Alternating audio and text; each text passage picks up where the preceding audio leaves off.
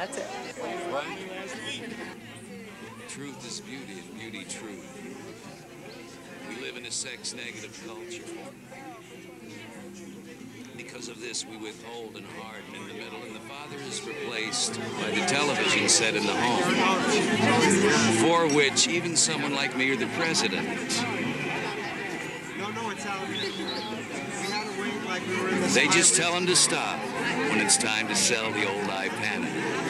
Generationally, even early television understands that t- Ipana is a cleansing agent for the teeth. Yes. The last time they sold a yellow toothpaste. I admired the company just for that.